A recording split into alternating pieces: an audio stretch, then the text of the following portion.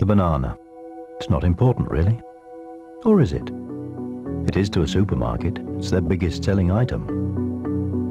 It can inspire a classic comedy moment or a tasteless joke that can go too far and end up with someone losing their job. In Bristol, a man was jailed for six years for holding up a bank with a banana.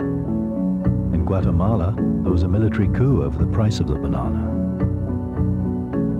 And in the wrong hands, it can be a weapon